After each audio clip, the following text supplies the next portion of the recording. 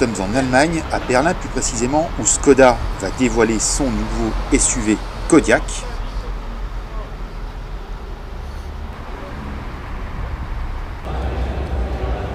Le lieu choisi est une ancienne usine d'électricité construite dans les années 60 en pleine guerre froide.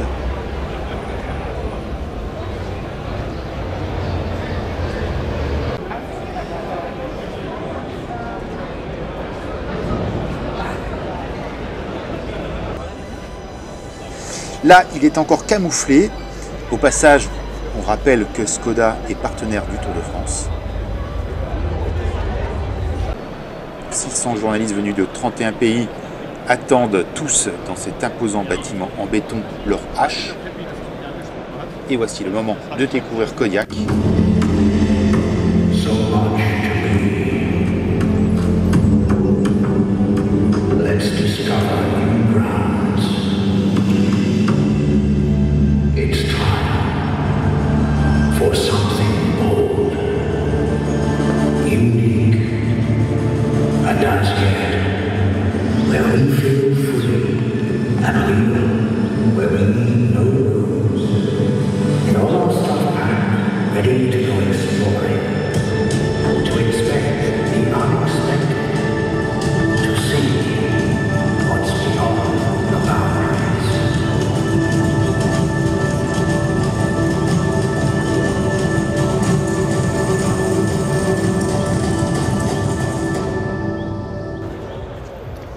Voilà, maintenant la foule s'est un petit peu dispersée.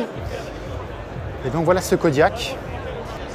Alors après le Yeti, Skoda reste dans le registre animalier, puisque après ce monstre imaginaire de l'Himalaya, là on entre plutôt dans l'Alaska, puisque Kodiak c'est une île de cette région des États-Unis, tout au nord, près de l'Arctique. Et dans cette île, il y a des ours. Et donc voilà, c'est toujours cette ambiance un petit peu, euh, un petit peu aventure, un petit peu euh, dépaysement qui ressort de ces noms. Bon, en tout cas, on va revenir au SUV, puisque c'est un SUV, encore un. Eh oui, c'est un SUV qui est un petit peu, qui a un gabarit un petit peu plus grand que ce que peuvent être le, par exemple, le Renault Kadjar ou euh, le Peugeot 3008, etc. C'est, il fait 4, 4,70 m. C'est en fait un gabarit proche du Nissan X-Trail.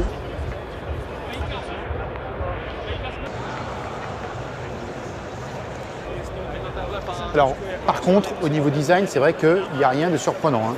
On retrouve notamment cette calandre typique maintenant de chez euh, Skoda, qu'on a retrouvé chez l'Octavia ou sur la Superbe ou même sur la Fabia. Ça ressemble quand même beaucoup à tout ce qui est famille euh, Volkswagen, notamment le Tiguan ou alors le Seat ATK, notamment, regardez-moi tous ces plis au niveau de l'arrière. Alors là, ce sont des jantes 19 pouces, mais de série, ce sont des jantes alu de 17. Voilà, le coffre. En gros, on a 720 litres, assez grand.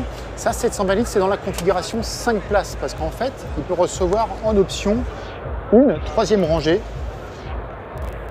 Et là, le coffre passe à 270 litres et cette, euh, cette configuration 7 places va représenter environ, enfin, d'après les estimations que peut faire euh, Skoda, 30% des ventes. Justement, voilà une configuration 7 places. On voit que le coffre n'est pas immense, mais bon, ça reste dans la moyenne de la catégorie. hein. Par contre, ce qui est sympa, c'est qu'il y a des systèmes de sécurité, notamment pour euh, quand on ouvre les portes, quelque chose qui se dé- déploie, voilà. Je ne sais pas si vous voyez, ça s'ouvre. Hop, et là ça rentre. Et donc comme ça, dans les parkings, quand on ouvre la porte, et ben justement la carrosserie là est protégée. Il y a aussi quelque chose que je trouve génial, qu'on a déjà vu sur la Superbe, c'est en fait dans la portière avant, il y a la possibilité d'avoir un parapluie. Parce que on ne sait pas où les mettre. Bah là, pas de problème. On l'a quand il pleut. suspension pilotée, recharge par induction des smartphones, le Tiguan n'a rien à envier à son cousin Tiguan. Hein. Seul manque pour le moment à l'appel le Virtual Cockpit.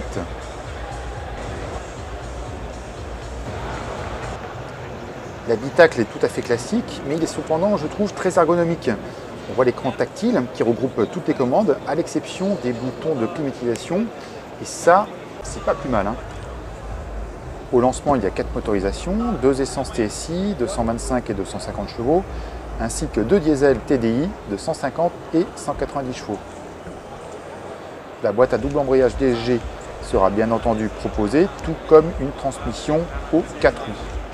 Les tarifs débutent à 24 900 euros, ce qui est plutôt bien placé hein, face à la concurrence. Et quant à sa commercialisation, elle interviendra en mars de l'année prochaine.